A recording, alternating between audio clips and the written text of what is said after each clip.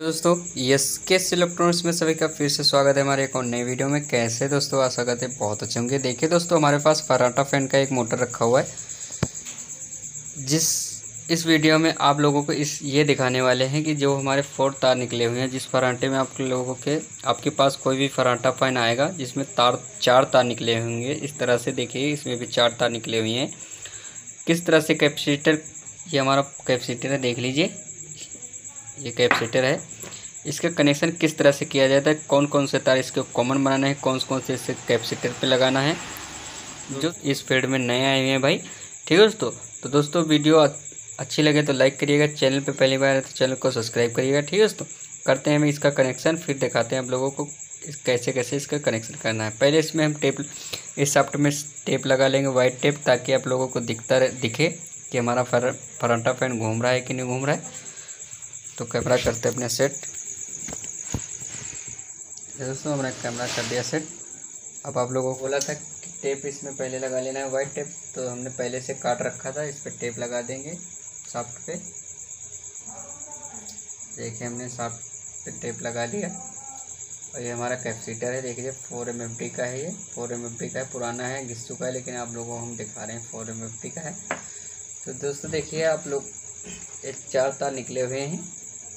जो इसको हमने किया वेंडिंग किया था इसके हमने, इसको हमने रनिंग बनाया था जो हमारे रनिंग के बनाए थे, जो हमारे रेड के तार हैं, ये रनिंग के हैं, और जो चार जो रेड ब्लैक वाले तार हैं, ये स्टार्टिंग के हैं, ठीक है दोस्तों? तो दोस्तों, इसका कनेक्शन किस तरह से किया जाता है, इस वीडियो में यही दिखाने वाले हैं कैप विद कैपेसिटर के साथ कैपेसिटर के साथ, ठीक है?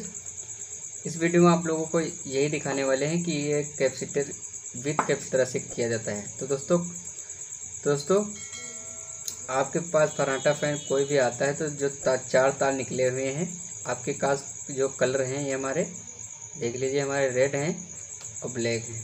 तो आप लोग आप लोगों के पास कोई भी पराठा फ़ैन है चार तार निकले हुए हैं आपके पास कोई भी कलर हो सकता है ठीक है? नीला भी हो सकता है पीला भी हो सकता है कोई भी कलर हो सकता है उससे कोई दिक्कत नहीं है। आप लोगों को पहले चेक करना है कि कौन से हमारे रनिंग के कौन से स्टार्टिंग के ठीक है दोस्तों? तो दोस्तों हम पहले ये जो एक रनिंग का है, एक स्टार्टिंग का है, इसको पहले इस एक में ज्वाइंट कर लेंगे, ऐसे इसको कॉमन बना लेंगे। यही तार हमारा कॉमन बन, बनेगा, हो गया, ये हमारा हमने कॉमन बना लिया। और जो हमारे एक रनिंग का, एक स्टार्टिंग का बचा हुआ है, इस पर लगाएँगे। एक कैपेसिटर का वायर लगाएँगे। और जो दूसरा हमारा कैपेसिटर का वायर बचा हुआ है, वो रनिंग का इस तरह से रनिंग में लगा लेंगे, ठीक है दोस्तों? इसी तरह से, इस तरह से मैंने लगा लिया इस तरह से लगा लिएगा। अब इसको ऐसे घुमाते हैं ताकि आप लोगों को ये धुरा साफ्ट है जो हमारा दिख सके। अब हमें उठाना है इस तरह का वायर देख लिए हमने सीरीज़ जो सीरीज़ के लिए हम तार यूज़ करते हैं, ये वाला।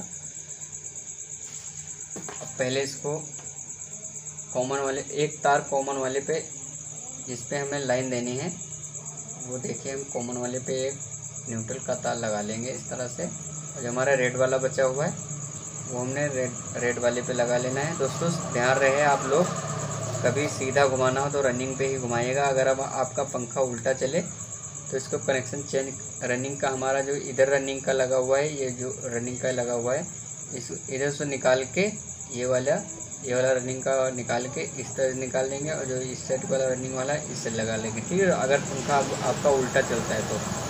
अगर सीधा चलता है तो इसी तरह से लगा रहने देना है। तो अब लगाते हैं प्लग अपना। बीच में ये देखो, देखिए दोस्तों, हमने प्लग लगा लिया है। अब इसको ऑन करते हैं।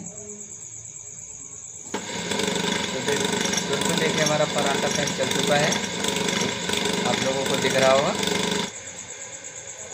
तो दोस्तों, देखा किस तरह से आप लोगों को हमने कैपेसिटर के साथ कनेक्शन करके दिखाया। चार तक तार वाले में। अब तीन तार वाले का कनेक्शन तीन तार वाली हमने टेबल फ़ैन की डाल रखी है। ठीक है दोस्तों? तो दोस्तों, वीडियो कैसी लगी? अच्छी लगी तो लाइक करिएगा। चैनल पे पहली बार तो चैनल को सब्सक्राइब करिएगा। वीडियो में से इतना ही। मिलते हैं नेक्स्ट वीडियो में। तब तक के लिए जय हिंद, जय भारत, वंदे मातरम।